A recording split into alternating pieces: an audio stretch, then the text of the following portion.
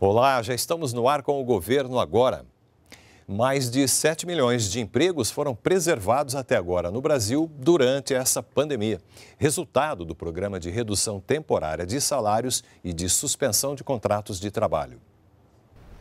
54% desses 7 milhões de trabalhadores tiveram o contrato suspenso e o restante redução de salário e de jornada.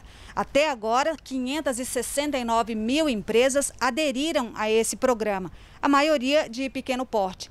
E São Paulo foi o estado que mais preservou empregos, com 33% do total.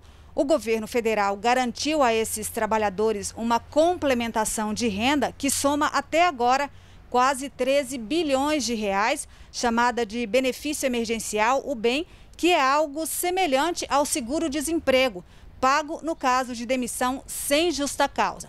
Para os próximos três meses, a expectativa do Ministério da Economia é preservar até 8 milhões e meio de empregos e injetar no programa cerca de 51 bilhões de reais.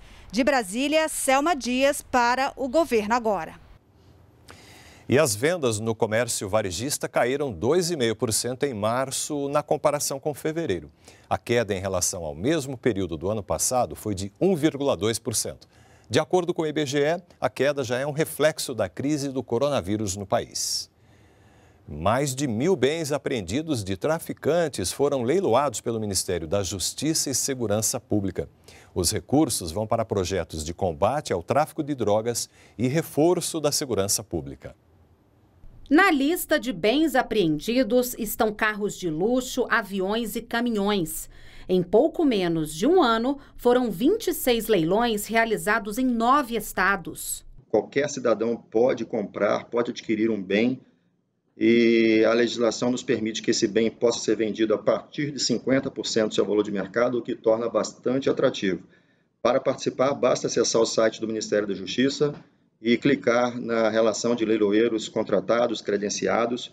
Os recursos vão financiar projetos de combate ao tráfico de drogas e a compra de equipamentos para as forças policiais. Esses recursos eles são depositados em favor de, dos cofres públicos, no caso de drogas, em favor do Fundo Nacional Antidrogas, e, uma vez recolhidos, são aplicados em políticas públicas em favor dos estados.